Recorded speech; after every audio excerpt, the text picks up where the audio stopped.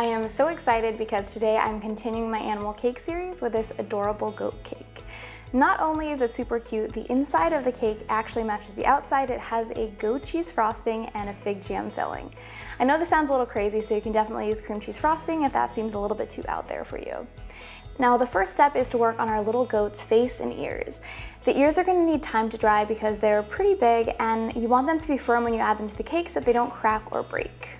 So with our black, white, and pink fondant, we're making our little goat's eyes, its nose, its mouth, its ears, and then for the horns, I actually added a tiny bit of brown food coloring into my white fondant to make it kind of a nice, almost ivory color. We're gonna set those aside to dry, and then it's time to work on our cake layers. This cake is made with fluffy buttermilk cake layers that are so delicious and really pair well with that filling. One batch of batter can be used to make three 8-inch cake layers or four 7-inch cake layers, and I wanted a little bit of height to my cake, so I made this cake with 7-inch cake layers.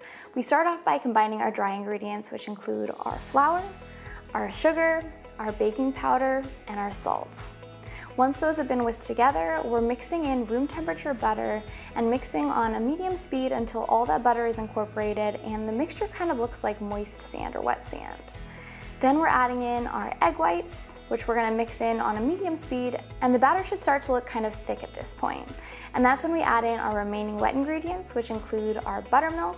I like to add in my buttermilk in two additions just so that it doesn't splash out of my bowl as it's mixing. And once that's incorporated, we mix in our oil and our vanilla extract. Once our batter is nice and smooth, we're gonna pour it into our prepared pans and bake it at 350 degrees for about 33 to 35 minutes. In my oven, it's usually 35, but everyone's oven bakes a little bit differently. While our cake layers bake, we're gonna work on that goat cheese frosting. Now this frosting is so smooth and delicious, and we use both goat cheese and some honey actually to give it just an incredible flavor. We start off by creaming together our butter and our goat cheese. Now remember, if goat cheese is a little too out there for you, you can always use cream cheese in place of the goat cheese, cup for cup. We're gonna mix this together on a low speed until it's nice and smooth, and then we add in our honey, our vanilla extract, and our salts. Once those are combined, we slowly start adding in our powdered sugar, and halfway through, we add in the heavy cream just to make the frosting easier to mix. Then we add in the rest of that powdered sugar, and we scrape the sides of the bowl as we do this just to make sure that everything's getting properly mixed together. Once our frosting is nice and smooth, it's time to color a little bit of it a brown color so that way our goat can have some cute little spots. So we're adding a half a cup of our frosting into a separate bowl and we're gonna mix into that one tablespoon of cocoa powder. This is gonna make your frosting a tiny bit thicker, so you might wanna add in a splash of heavy cream or milk just to help thin it out. Once our buttercream is evenly colored, we're gonna place it in a small piping bag with a large round tip, or if you don't have one, you can always just snip an opening at the end of the bag that's about half an inch wide. We're gonna seal off the top with a rubber band and set that aside. And then it's time to assemble our goat cake. As always, I like to add a dab of buttercream onto my cake board just to help that first cake layer stick in place. And then we're gonna spread an even layer of our goat cheese frosting and some fig jam on top of that. Now I highly recommend piping a ring of buttercream around your cake layer before adding your fig jam, just to make sure that everything stays in place and that your jam doesn't kind of like ooze out as you assemble your cake layers. It can make the situation really messy, so I highly recommend doing that. We're gonna repeat this process with all of our cake layers, making sure to flip that top cake layer upside down just to make it easier to get sharp corners.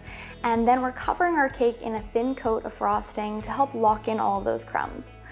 We're popping this cake into the freezer for about 10 minutes, or you can also use the fridge for about 30 until the frosting is firm to the touch. And then it's time to smooth on our second layer of frosting. Now this layer is a lot thicker and it really helps use a bench scraper to get your frosting nice and smooth. I also use a small offset spatula to clean up the top edges to get really nice sharp corners.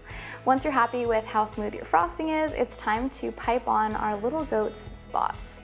So I made about three or four spots around my cake, not a lot, you want them to be pretty big, um, but they can really be any shape or size you want, and you can add however many you'd like. I smoothed out my spots with a small offset spatula, and then I also used an acetate sheet to get them really nice and smooth.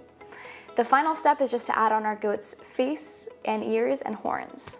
If your buttercream starts to crust or firm up and you're having a hard time sticking your goat's face in place, you can always use little dabs of buttercream to help secure them. Another thing to keep in mind is if you're making this cake in advance or you're transporting it, you can add the facial features and the horns, but I highly recommend waiting to add the ears. They make it so much harder to store in the fridge and they can droop because they're so thick and long. So just be sure to add them in right before you serve the cake.